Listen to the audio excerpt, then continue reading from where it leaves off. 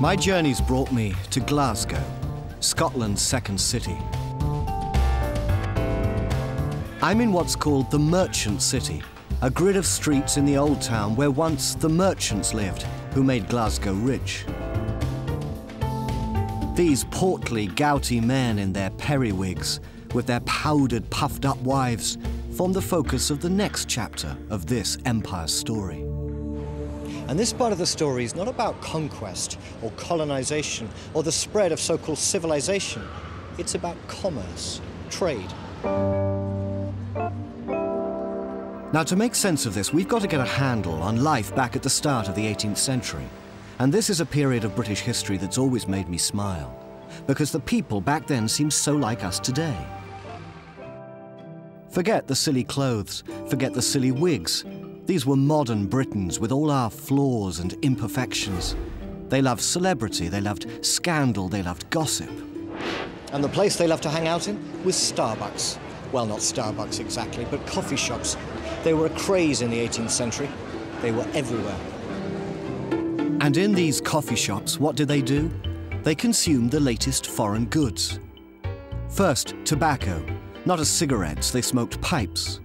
Second, another drug, coffee. They shifted it back. Tea, ditto. And last but not least, spoonful after spoonful of sugar. The British sweet tooth was famous. Now, what connected these goods, apart from the fact that they were all bad for us, is that none of them could be grown here in Britain. Tobacco and sugar came from the New World, from America and the West Indies. Coffee and tea came from the East Indies, from India and China, which meant that there were fortunes to be made now, heading out and growing this stuff, or buying it, shipping it back, selling it on. It was these trade goods that stimulated the early growth of the British Empire and it was tobacco and sugar in particular that made Glasgow rich.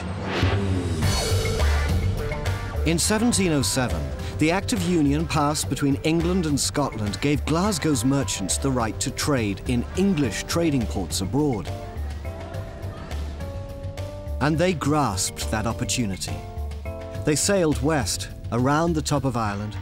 Across the Atlantic, they bartered with English planters growing sugar in the Caribbean and they cornered the market in tobacco grown by the colonists in Maryland and Virginia.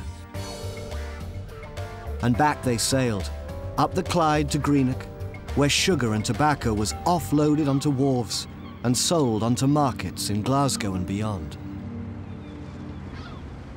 Now, you might think at last we've found an example of empire without exploitation, all right, where nobody suffers. Brits sail abroad, they found plantations, merchants sail over, they buy their produce, they ship it home. This is just trade, just business, right? Wrong. And I want to tell a story that illustrates the flip side of this Atlantic trade, and it concerns just one Glasgow tobacco lord, a man called George Buchanan.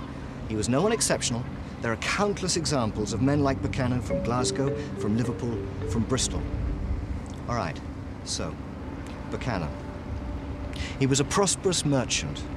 He ran a company called Buchanan and Simpson, trading tobacco directly between America and Glasgow. But then in 1761, he realized he could do even better, and so he diversified. He didn't sail to America, he went to Africa, to the Gold Coast, and there he bought 300 Africans as slaves for 25 pounds each. He shipped the slaves to Maryland. He traded them for tobacco. The tobacco he shipped back to Glasgow, the slaves remained in America, torn from their homes, their families, treated now as possessions, worked sometimes even to death. In all, 10 million Africans were shipped as slaves across the Atlantic. Three million of them in British ships. And our wealth in the 18th century depended upon this obscene exploitation of human beings for profit. And for a hundred years, we shut our eyes to their suffering. Why? Because we wanted sugar in our coffee. Because we fancied a smoke.